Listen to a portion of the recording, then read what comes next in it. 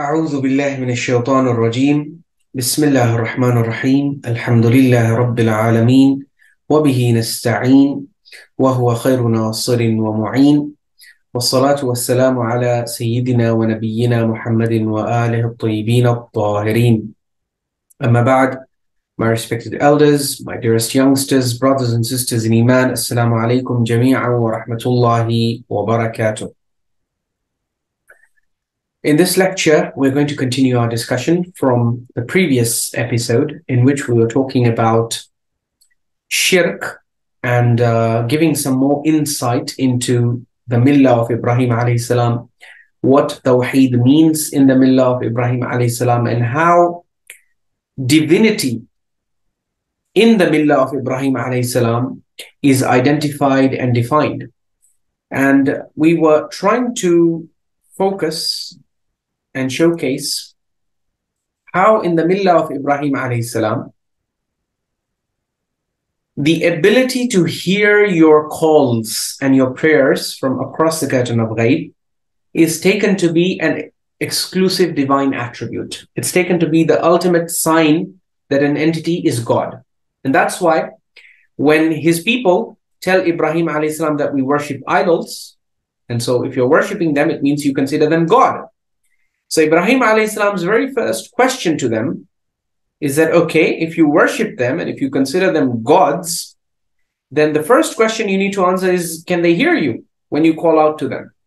So if the answer to this question is yes, then at least as far as the millah of Ibrahim alayhi salam is concerned, your worship and your devotion to such entities is justified. And you can indeed refer to these entities as gods, and it is proven that they are divine if they can hear you across the curtain of ghaib.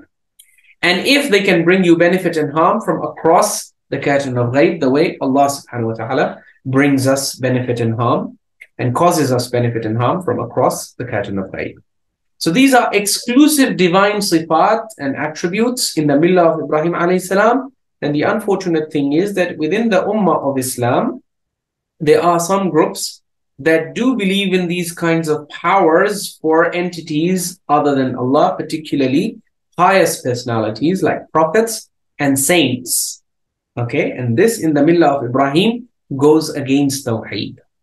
This was the first point that we were trying to elaborate in the previous lecture. Now, as you proceed uh, with your tadabbur on this passage, you will see that Ibrahim alayhi salatu wasalam gives you other qualities, other attributes through which he identifies and defines his God. So the God of Ibrahim alayhi salam is the one who is the Lord of all the worlds. He's the one who guides Ibrahim alayhi salam. He's the one who provides him with food and drink, with his rizq. When he gets sick, he's the one who cures.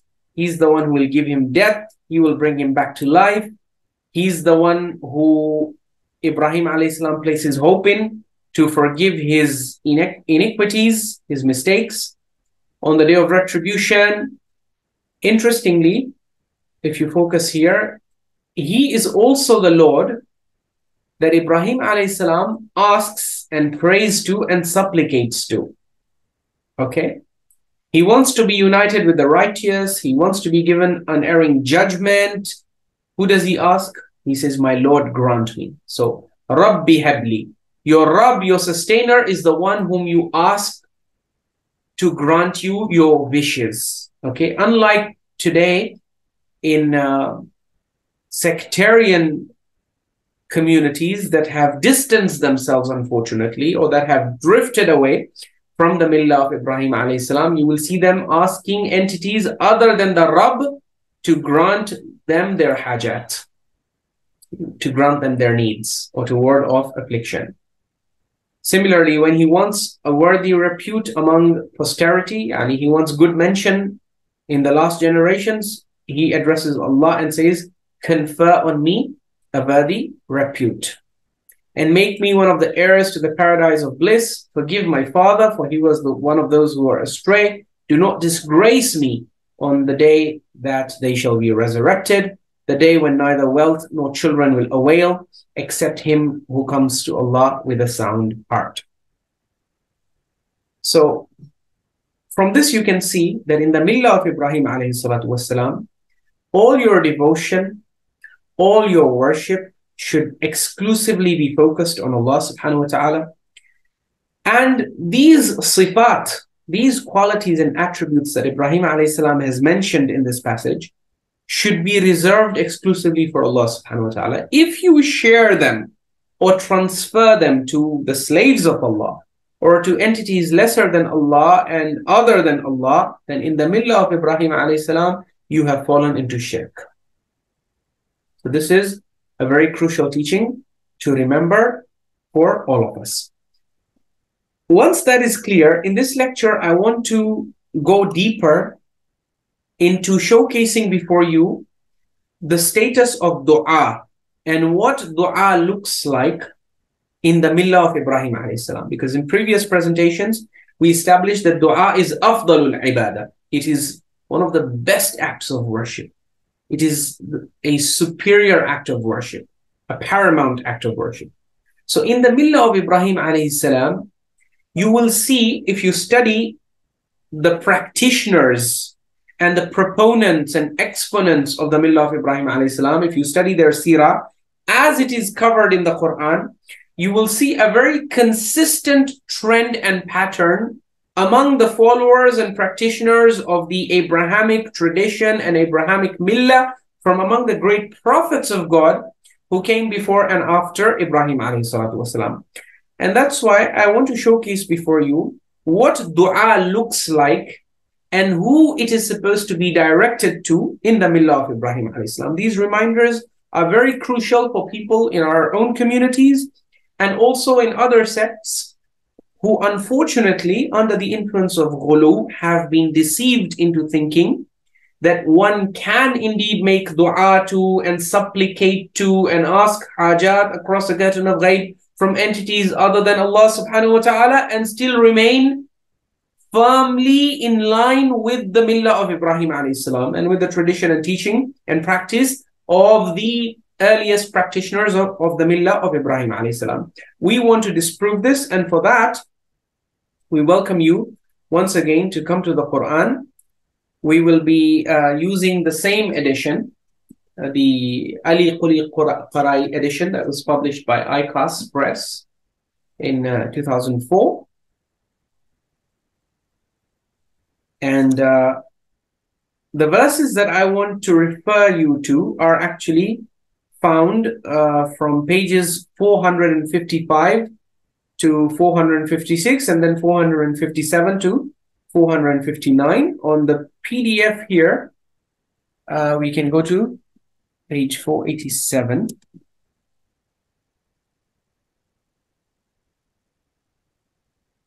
You will see here from verse 51 of Surah Al-Anbiya, the story of Ibrahim alayhi begins when Allah says, Certainly, we had given Abraham his rectitude before and we knew him. And then Allah recounts a conversation that he had with his people. And then uh, his, his statement to his people, he said, Do you then worship besides Allah? that which cannot cause you any benefit or harm from across the curtain of ghaib, obviously. Because on this side of the curtain of ghaib, there are a lot of entities that can cause us benefit and harm. Even animals can harm us and benefit us. Plants can harm us and benefit us. So causing benefit and harm through natural means while remaining on this side of the curtain of ghaib is not a sign of divinity sign of divinity and the marker of divinity in the millah of Ibrahim alayhi salam is when you are able to exercise these powers and wield these powers from across the curtain of ghaib. And so you can see um, as you progress through this uh, surah, Allah subhanahu wa ta'ala talks about the uh, progeny of Ibrahim alayhi salam, how Allah gave him Ishaq, and Yaqub, and he made each of them righteous, and he made them into imams. So one thing to keep in mind is that imama in the Quran refers to prophethood actually. a lot of the times, uh, 12 Shias in particular, they tend to confuse imama of the Quran with post-prophetic imama. They are two very different things. Uh, the imama in the Quran is actually uh, divinely appointed prophethood. Because when Allah talks about وَجَعَلْنَاهُمْ أَئِمَّةً Who is He talking about? We made them imams. Who did He make imams? He's talking about Ishaq. And Ishaq was a prophet. Yaqub was also a prophet. So when Allah says we made them imams, the imama here is imamatun nubuwa. It's referring to the imama of prophethood, not the non-prophetic imama that the 12 Shias uh, believe in, right? So it's very important to distinguish between Quranic imama, which is another word or a synonym for prophethood and for prophets. So when Allah talks about imams uh, in this context, he's talking about prophets from the progeny of Ibrahim salam. And that's why he says, Yahduna bi emrina. They used to guide by our command because prophets do not guide based on their whims or desires. They guide on the basis of Allah's commands that come to them through His revelation and inspiration. Because Allah says, وَأَوْحَيْنَا إِلَيْهِمْ We revealed to them. We sent wahi to them. So these are imams who are receiving wahi from Allah subhanahu wa ta'ala. Whereas post-prophetic imams are ulama abrar, they are pious, righteous scholars who do not receive any wahi from Allah subhanahu wa ta'ala. Rather, they simply transmit the sunnah as they receive it from their ancestors from Rasulullah sallallahu alayhi wa alihi wasallam. So in any case, Allah then talks about وَأَوْحَيْنَا إِلَيْهِمْ فِعْلَ الْخَيْرَاتِ We inspired, we sent, we revealed to them uh, the importance of performing good deeds, the maintenance of prayers, the giving of zakat, وَكَانُوا لَنَا عَابِدِينَ And they used to worship us. And then Allah talks about Lut alayhi salam. But I want to come to the relevant part.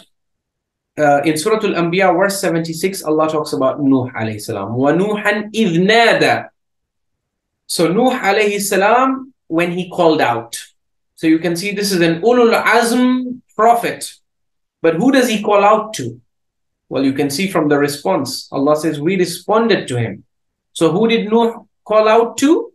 He called out to Allah subhanahu wa ta'ala um, if you want further clarity as to whom Nuh alayhi salam exactly called out to, you can look at other places in the Quran where his story is mentioned, where his dua is given to you in more explicit terms. For example, in Surah uh, Al-Qamar, Rabbi inni maghlubun fantasir. So he makes the dua to Allah that, Ya Allah, I have been overwhelmed. I find myself completely overwhelmed. Fantasir. So therefore, send your help. So who is he calling out to? Rabbi. He's calling out to his sustainer. So that's what we are trying to establish is that the, the way of the prophets is to call upon the sustainer, to call upon the Rabb, not to call upon entities lesser than him. And so the first example in Surah Al-Anbiya is Nuh alayhi salam. He calls out to whom? To Allah and Allah responds to him and delivers him and his family from the great agony, from the great calamity that descended his people. Allah says, and we helped him against the people who denied our signs. So the help came from where? From Allah subhanahu wa ta'ala, not from any entity lesser than or other than Allah subhanahu wa ta'ala. Now you come further down into the Millah of Ibrahim. These are now practitioners, prophets who were upon the Millah of Ibrahim alayhi salam. You have the example of Job. Job is Ayub. Okay, Prophet Ayub alayhi salam. Wa Ayuba idnada rabbahu أَنِّي مَسَّنِيَ الضُّرُّ وَأَنْتَ أَرْحَمُ الرَّاحِمِينَ In verse 83, Allah gives you the example of Job, who is Ayub alayhi salam. When he called out to his Lord, you know the story of Prophet Ayub alayhi salam. He was afflicted with, uh, with physical disease and suffering that befell him at the bodily level.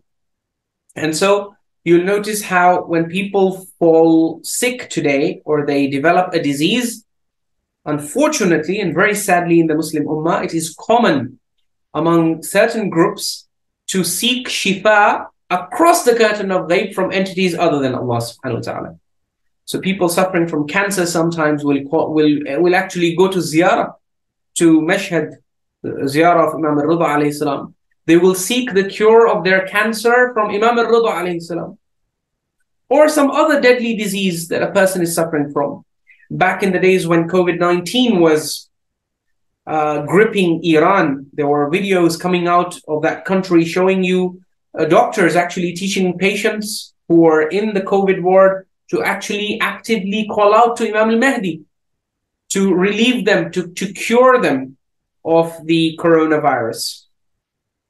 Whereas the message of the Quran and the teaching of the Quran and the, the, the, the information that the Quran gives you about the practitioners and followers of the Millah of Ibrahim is that when you are afflicted with distress, when you are suffering from physical disease, who do you call out to?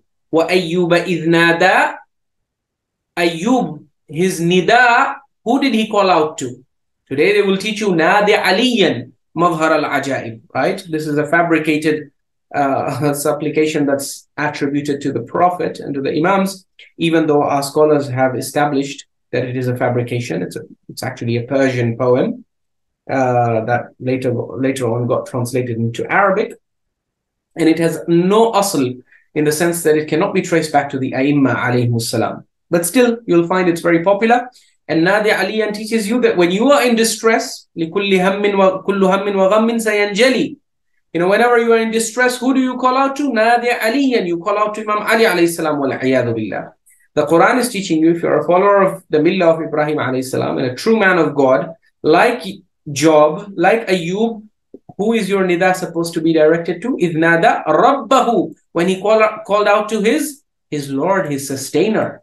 When Allah is the sustainer, when he is closer to you than your jugular vein, and if you say, well, Allah is so close to me, but I am far from Him because of my sins, well, the whole point of Allah telling you, I am closer to you than your jugular veins," you think Allah subhanahu wa ta'ala doesn't know about your sins. Despite your sins, He is telling you that I am still closer to you than your jugular veins. وَلَقَدْ خَلَقْنَا الْإِنسَانَ ونعلم ما توسوس به نفسه ونحن أقرب إليه من حبل الوريد.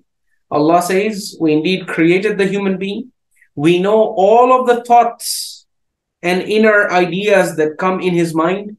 So Allah knows even your innermost thoughts.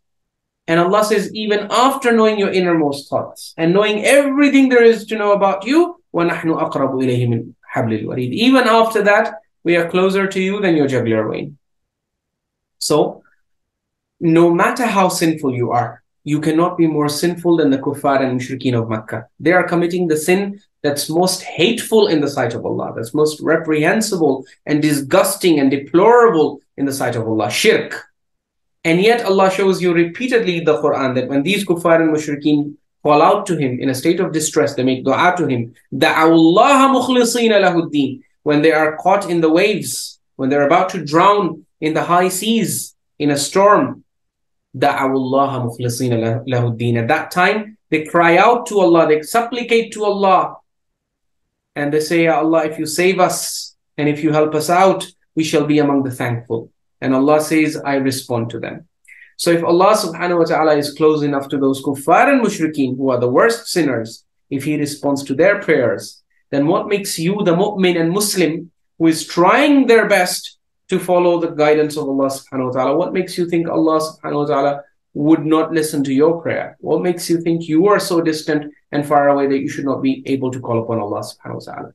In any case, in the millah of Ibrahim alayhi salam, as you can see, Ayub alayhi salam is a practitioner and follower of the millah of Ibrahim. And when he is in distress, when he is suffering from bodily sickness and disease, who does he call out to? Idnada Rabbahu. He does his nida is directed to his sustainer and he says, Anni masaniya dur. Indeed, suffering has befallen me, distress has befallen me.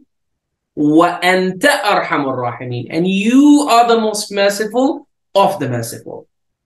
So this is really beautiful. A lot of people, especially in our communities, don't focus on this name of Allah subhanahu wa ta'ala, Arhamur Rahimin. Arhamur Rahimin shows you that even if there might be entities other than him that may have varying degrees of mercy in them. And so let's say, let's hypothesize and let's assume or suppose for the sake of argument that Imams of Ahlul Bayt have mercy in their hearts for us. even then Allah is saying that they are simply, they would simply be merciful, right? Allah is saying you have access to the most merciful of those who show mercy and who have mercy. So when you have access to the superior entity, why should you try and communicate? Why should you seek the mercy of lesser entities across the curtain of ghaib? In any case, whatever you do, the Quran is giving you a uniform pattern, a uniform trend. We started with Nuh alayhi salam. He called out to Allah and Allah responded to him. This was in verse 76. You come to verse 83 and you see Ayub alayhi salam, he gives his nida, he calls out to his sustainer and he says, Ya Allah, distress has befallen me and you are the most merciful of the merciful. فَاسْتَجَبْنَا لَهُ So we answered his prayer. فَكَشَفْنَا مَا بِهِ مِنْ ضُرٍ And removed his distress and we gave him back his family along with others like them as a mercy from us and an admonition for the devout. وَذِكْرَى لِلْعَابِدِينَ Allah says the reason why I gave Ayub all of this and then I decided to announce this to the whole world is so that this should be dhikra, it should be a reminder for the abidin, for the devout worshippers.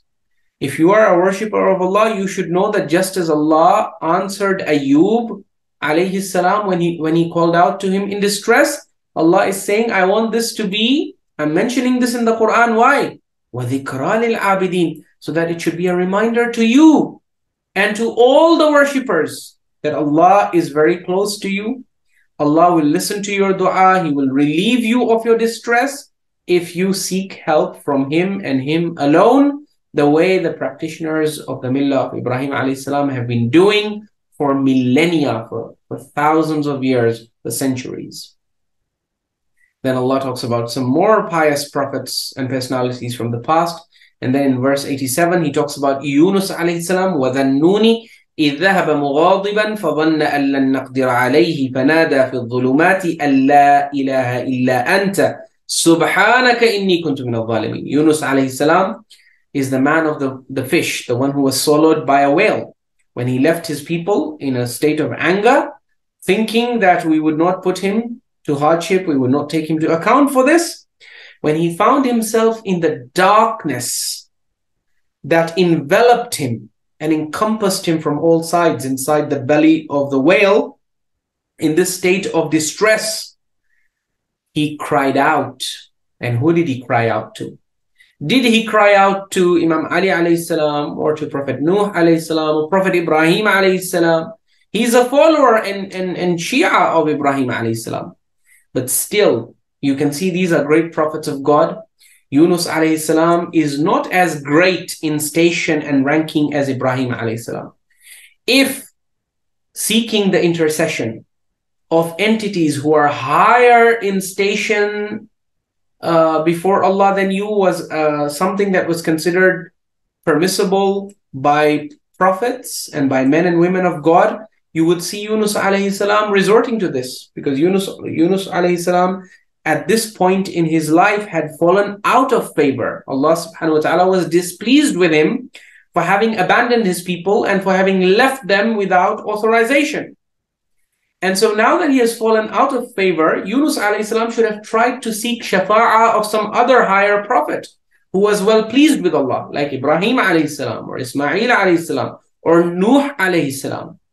But Yunus salam is a true follower of the Millah of Ibrahim. He knows that there is no such provision or no such arrangement whereby you're, you know, Allah subhanahu wa ta'ala has not aslan, He has not asked you to go to any entity across the curtain of ghaib and seek their intervention or their mediation or their intercession. As Imam Ali alayhi salam says in letter 31 of Nahj al-Balagha, which is his wasiyah to his son, he says, وَلَمْ يُلْجِئْكَ إِلَى مَنْ يَشْفَعُ لَكَ إِلَيْهِ He says, Oh my son, remember Allah subhanahu wa ta'ala has not required, He has not required you to bring any mediator or intercessor to intercede for you and then only He will listen to you. No, Allah aslan has not required any such thing. So all you need to do is invoke your creator, supplicate to him directly without any intercession, without any mediation, across the curtain of ghaib and he will listen to you the way, look at what Allah subhanahu wa ta'ala tells you about Yunus. That when he was enveloped in the darkness of the belly of the whale, fanada, he cried out, he supplicated. And this was an, a nida across the curtain of ghaib. But to whom was this nida directed? Allah ilaha illa ant. It was directed to the God apart from whom there is no God. And so Yunus salam called out to him. He said, Ya Allah, there is no God except you. Who will I call out to? Who can listen to me right now as I am covered up in the belly of this whale other than you? It's only your divine, exclusive divine power with which you can listen to me in a remote and secluded place like this. There is no God except you. You are the Immaculate, Ya Allah. And in other words, he's saying, Ya Allah, because you are the Immaculate, we cannot, you know, we cannot perform up to your standards. So whenever you put us through a test, Ya Allah, we will always have shortcomings. And in my case, I am admitting my shortcomings. I have indeed been among the wrongdoers. I am from the zalimeen. So notice how Yunus alayhi salam, being a prophet of God, does not believe in his own isma or infallibility. Because isma and zulm, they don't go hand in hand, right? Al-zulm yunafil asma. Zulm does not go hand in hand with infallibility. And Yunus salam does not aslan, these prophets did not consider themselves infallible. Otherwise, he would say, No, no, Ya Allah, inni kuntu min al ma'asumeen. I'm a ma'asum. I have not done anything wrong. Everything that I do is right because I'm ma'asum and I'm protected by you. But Yunus salam does not believe in isma. He believes that he has been among the wrongdoers. He has made a mistake, and that's why he's crying out to Allah, seeking his forgiveness, declaring his tawheed. This is a, you know, one of the secret weapons that you have as a believer if you want Allah to quickly forgive you, you need to invoke Him by His Tawheed. That's why this kalima, the Prophet and the Imams of Ahlul Bayt, salawatullahi alayhim ajma'in, you will see it uh, occurring as a frequent refrain in their supplications and their du'as. They are in love with this kalima and they really promote it big time. Imam Ja'far al-Sadiq alayhi salam, especially, he says, if you recite this kalima, uh, he says what happens in the next verse will happen to you as well. What happens in the next verse? When Yunus alayhi salam calls out to Allah through this beautiful means, Allah says, فَاسْتَجَبْنَا لَهُ So we answered his prayer وَنَجَّيْنَاهُ مِنَ الْغَمِّ and delivered him from agony. now you might think, and lest someone think that this was only something Allah did exclusively for Yunus alayhi salam, Allah says no, and thus do we deliver the faithful. وَكَذَلِكَ نُنْجِ الْمُؤْمِنِينَ Meaning, Allah says, I'm not only prepared to do this for Yunus alayhi salam. Anyone else, at any point in your life, if you are among the mu'mineen, Allah says, وَكَذَلِكَ نُنْجِ الْمُؤْمِنِينَ I, this is how I rescue the believers. So not only Yunus, even if you make a mistake in life, due to which you fall into deep depression, you fall into an abyss from which you see no means of coming out. You know, this situation that Yunus alayhi salam found himself in, a lot of human beings will find themselves in similar situations. He found himself in this situation for a different reason. You may find yourself in this kind of situation after making a different kind of mistake. But the important thing is when you find yourself enveloped in the darkness that has resulted from the evil that you've done, and you see no means of escape, and you are at the depth and at the you've hit rock bottom, you are at the lowest of the low points. That is the time for you to follow the example of Yunus alayhi salam and to call out to Allah and say, La ilaha illa anta. Subhanaka inni kuntu min al Ya Allah, I testify there is no God worthy of worship and divinity other than you. I testify against myself that I have been among the wrongdoers. And the verse of the Quran, when Allah ends it by saying, وَكَذَلِكَ نُنْجِي الْمُؤْمِنِينَ what he's trying to convey to you, and Imam al-Sadiq emphasizes this point, he says is that Allah is saying that Yunus was not the last person I rescued after he reached out to me like this. Today, tomorrow, in the future, whenever you, the ordinary average believer, also attempts to reconnect with me and reconcile yourself with me in this manner, by declaring my tawheed and admitting your wrongdoing, I will also respond to you and relieve you of your distress. So this is the beauty, is that Allah subhanahu wa ta'ala is setting a precedent through the role model of Yunus alayhi salam.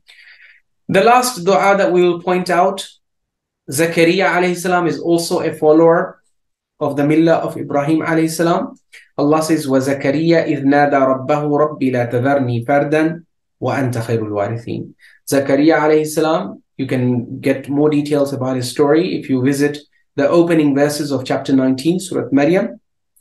Uh, there you will find that he was without offspring for a very long period of time. He was not blessed with any son or daughter.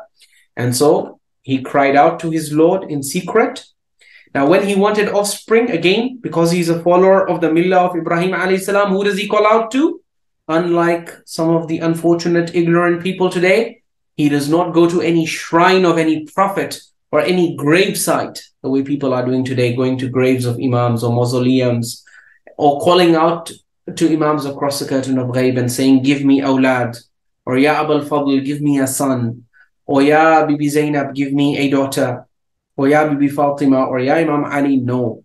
This is Zakaria alayhi salam. He's a follower of the Millah of Ibrahim.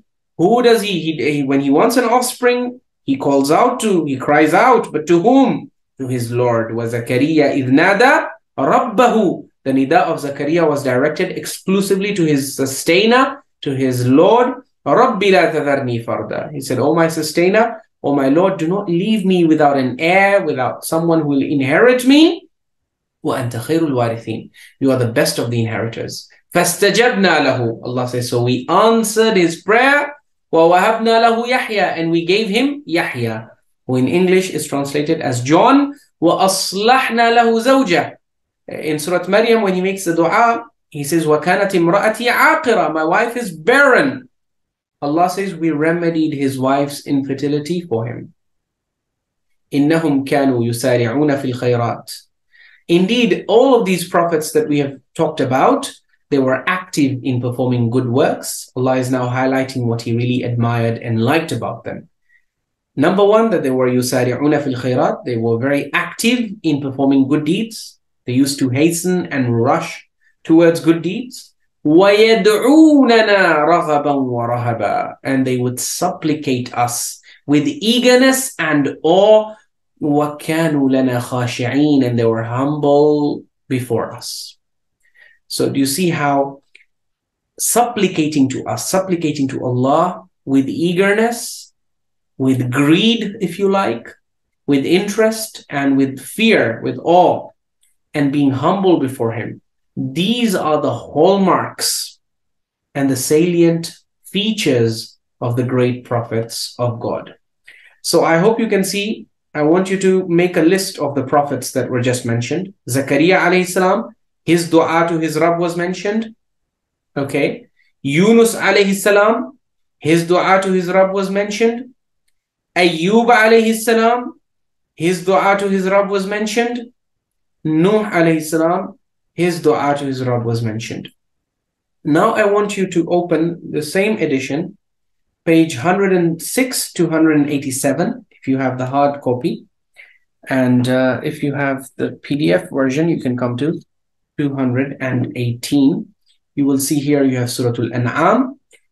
Look at verses 83 onwards. 84 onwards, Allah talks about Nuh. He mentions, there are 18 prophets mentioned in this passage. Huh? And we have referred to this passage before in the Tawheed and Shirk lectures and also in the Dispelling the Ghulu series. Uh, you have Nuh mentioned, you have, uh, I've highlighted all those prophets whose du'as we just read, okay? Nuh alayhi salam, Ayub alayhi salam, Zakaria alayhi salam, and Yunus alayhi salam. Okay, these are all of the prophets that Allah subhanahu wa ta'ala identifies as coming before and after Ibrahim alayhi salam. So from the offspring of Ibrahim alayhi salam, you have Ayub, you have Zakaria, you have Yunus. And Allah mentions how وَلَوْ أَشْرَكُوا لَحَبِطَ عَنْهُمْ If they were to ascribe any partners to Allah, what they used to do would not avail them. Yani all their good deeds would be cancelled. But now look at verse 90. Allah says, أُولَٰئِكَ الَّذِينَ هَدَى اللَّهِ These are the ones whom Allah has guided. These prophets, and there are 18 of them that I mentioned previously. But among these prophets are Nuh and Ayub and Zakaria and Yunus. These are from among the prophets that I mentioned in this passage. Towards the end of the passage, Allah says, These are the ones, or they are the ones whom Allah has guided. أُولَٰئِكَ الَّذِينَ هَدَى اللَّهُ فَبِهُدَاهُ مُقْتَدِهِ So follow their guidance. And what is their guidance, my dear brothers and sisters? That we just showed in the matter of dua, their guidance and their instructions are very clear. Their trend, their pattern, you notice a very, very clear trend and pattern in their du'as whenever these great prophets of God were in a state of distress, whenever they wanted something, any hajat, anything, they asked their sustainer, they asked Allah exclusively. It is my challenge. Nowhere in the Quran can you show any of these prophets making dua across the curtain of ghaib to any other pious personality and seeking their intercession or their intervention or their help in getting what they want. This is the tawheed uh, of the millah of Ibrahim, and this is how dua is in the millah of Ibrahim. وآخر دعوانا أن الحمد لله رب العالمين.